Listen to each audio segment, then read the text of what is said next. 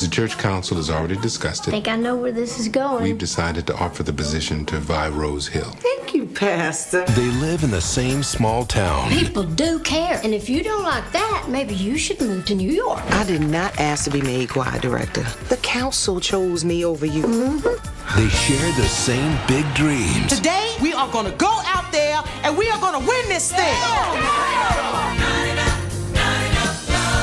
Stop, stop, stop.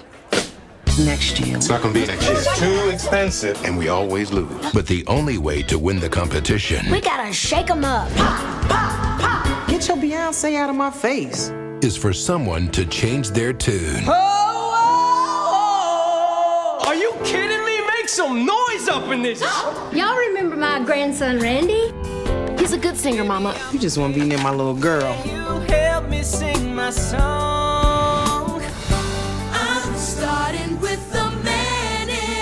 Completely changed the way the choir sings. Who knows what he'll do next? I love those old songs, but Randy's right. We are not going out like this. Not you, not me, and not this choir. Well, I am who I Well, am. maybe you were five procedures ago. And how much did she spend on all that? Who cares if I had a few little nips and tucks? God didn't make plastic surgeons so they could starve. That was amazing. Singing is the only time I feel important. You know we're going to LA, right? Someone could hear you who might actually matter. Baby, nobody ends up with the boy they like when they were 16. This isn't about that. This is about me. Raise your voice and dream big. It's like I've waited my whole life. You are infallible, untouchable, unlovable. Ow! When you're breaking my hair! Put that online. Like a fool, I went astray. Oh, We just go to Los Angeles and we do our best.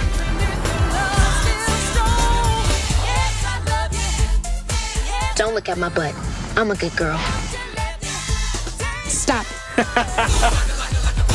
I'm very, very proud to be your mother. I love you. Joyful noise. Quit it with those nails, Edward Scissorhands.